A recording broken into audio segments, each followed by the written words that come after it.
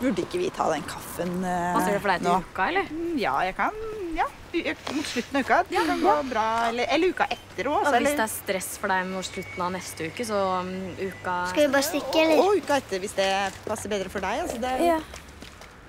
Både kaffe og te høres kjempefint ut. Helt opp til deg. Jeg tar det samme som deg, jeg. Jeg lager veldig gjerne begge. Det- Kaffe eller te eller saft?